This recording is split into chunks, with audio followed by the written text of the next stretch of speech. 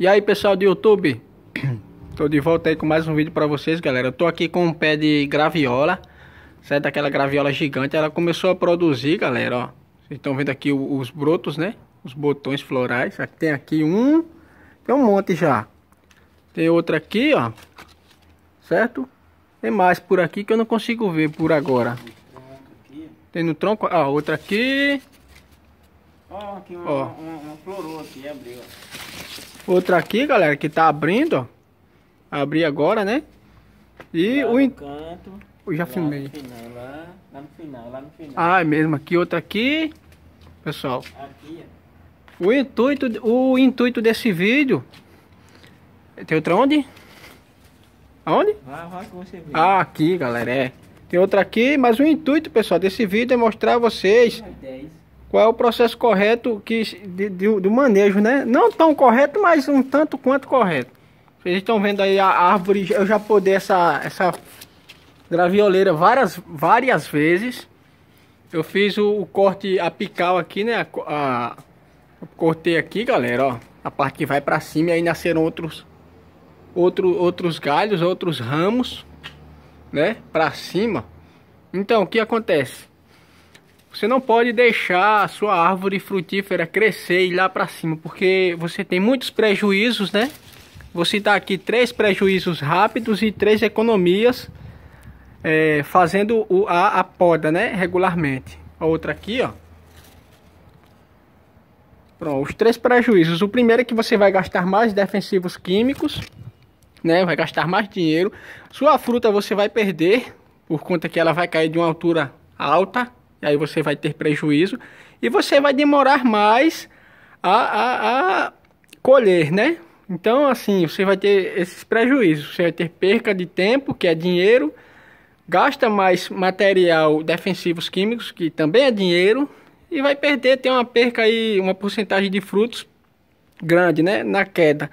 Será emprestável para o, o consumo, é, é, para a venda, né? Mas o consumo ainda você pode aproveitar. E você podando sua árvore, além de, de gastar menos defensivos químicos, você também tem uma árvore mais saudável, você gasta menos defensivos químicos, como eu já falei. Sua fruta você vai colher na mão, baixinha, ó. Ela vai pesar aqui, vai ficar nessa altura aqui.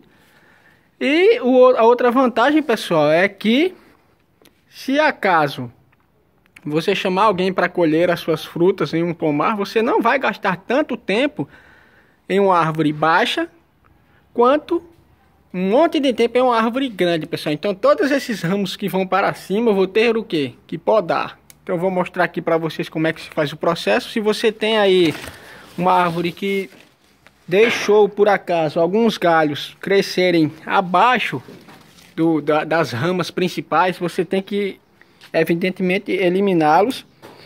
Por quê? Porque esses galhos, pessoal, eles não servem para nada, a não ser sugar toda a, a tentar roubar a, a, força da planta. Então, você vem aqui no cantinho, ó, com a tesoura de poda e aí você corta. Como eu já cortei aqui e depois de cortar, pessoal, você pode passar uma tinta aí antifungo, tá certo? Eu já passei aqui, cortei aqui, passei aqui, todos os lugares que eu fiz o corte, eu vim e, e passei um até aqui, pessoal, ó. Aí, ó. Tá certo? Uma tinta aí, seja ela antifungo, qualquer uma serve para quê? Para que não entre, é, para que não entre fungos, né? E não venha aí a, talvez, danificar a sua planta ou até matar, certo? Então eu vou eliminar esses galhos para cima, aí você vai falar, ah, tá acabando com a minha árvore. Não, pessoal. Isso aqui é um manejo correto Apesar do que eu já, eu já passei tanto tempo para fazer a primeira poda que eu deveria ter feito um pouco mais abaixo. Mas aqui ainda tá bom. Porque se você passa tanto tempo para fazer a poda, você não tem o descontrole aí da planta e é muito difícil de você corrigi-la depois.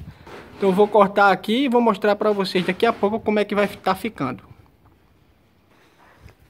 Então pessoal, estou de volta aqui, vocês estão vendo que uma dica que eu dou para vocês que todos os galhos que vão para dentro da árvore crescem para dentro, você tem que abrir para deixar esse espaço do meio, o miolo, né, digamos assim, aberto para o sol entrar e assim sua planta ficar mais bonita e mais produtiva. Essa galha aqui tá vendo que está indo para dentro Você vem no canto, ó.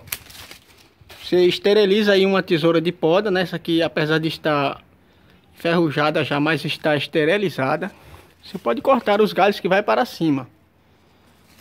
Pode cortar sem pena. Ó.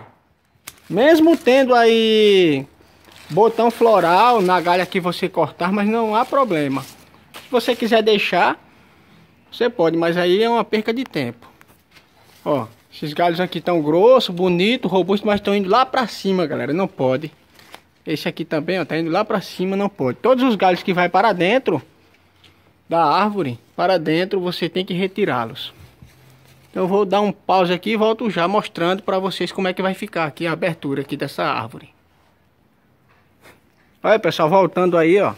Olha só o tamanho desses ramos que eu já tirei. Toda vez eu tiro, pessoal. Mas ele vai e cresce. Com dois meses, pode acreditar. A, a gravioleira, ela cresce muito rápido. Isso aqui só tem o quê? Dois meses, pessoal. No máximo três, ó.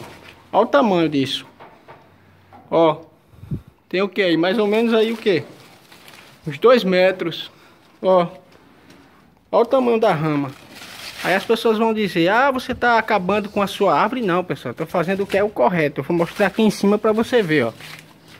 Ó. Perceba que aqui agora eu já posso subir. Eu já fiz uma poda aqui, galera, ó, como vocês estão vendo, a parte apical que vai lá para cima. Podei, passei a tinta, como eu falei para vocês, ó. Cortei aqui. Ó, cortei aqui, aqui.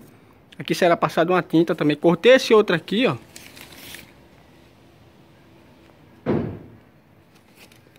Aqui já tinha cortado antes.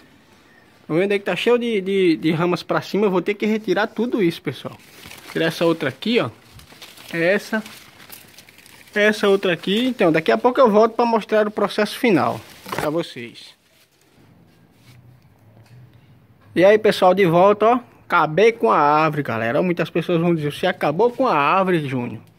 Ô, oh, rapaz, acabasse com a minha árvore frutífera. Não, pessoal, tirei os galhos e vão pra cima aí, ó, como é que tá ficando, ó. Agora sim a árvore tá... Vai ficar bonita, ó. Toda aberta, o sol ali bate ali. O importante aqui, pessoal, é as galhas virem pra baixo, ó. Ó, rodeando aqui, vou rodar aqui a planta para vocês verem. Ainda, ainda falta um ali que ficou para cima, eu vou retirá-la. Olha, Olha a diferença de agora para aquele quando eu fiz a primeira vez. Quando é dois meses, pessoal, eles crescem tudo de novo. E o importante é deixar as galhas virem para cá, ó. Pra cá, pra lá, pra lá e pra lá. Entenderam? É assim, pessoal, que se faz uma poda. Eu digo, tudo que vai pra cima, se você deixar, ela perde o controle. Vai embora e começa a engrossar o galho, fica ruim para cortar depois. Mas enquanto tá... Eu já passei do, do ponto, já era para me ter feito o, a poda desse aqui. Então eu vou finalizar aqui, vou terminar o restinho que falta. E volto para finalizar o vídeo. E aí, ó. Agora sim foi terminado aí o serviço, pessoal. Aí, ó. Muitos vão dizer, você acabou com a minha planta, você acabou com a planta. Não é assim que se faz, mas é assim que se faz sim. Veja que a, a, as galhas vão para baixo. Todos os lados, as galhas vão sempre para baixo.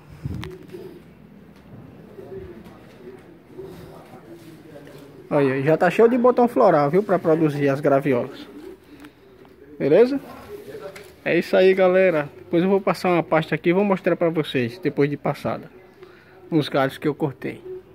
Você pode cortar rente, querendo, mas eu sempre deixo assim um pedaço pra brotar, né? Aí depois eu faço a poda novamente. Beleza, galera? E aí, pessoal do YouTube? De volta aí, galera. Eu gripei, galera, depois que eu peguei na tinta. Fiquei meio gripado agora, mas aí tá terminado, ó. O vídeo. Mostrar aqui pra vocês, eu passei a tinta em todas as partes que eu cortei, que eu podei, né? Ali também na frente, ó. Ó. Aqui. Aqui, ali. E é isso aí, galera. Se inscreva no canal aí. Depois eu vou mostrar aí se vai produzir ou não vai é, graviola. Tem até um ali, um, um pontinho. Vocês estão vendo aqui na frente? Ó. Contei, pessoal, tem 11, 11, 11 botões. Beleza? É isso aí. Se inscreve e até o próximo vídeo.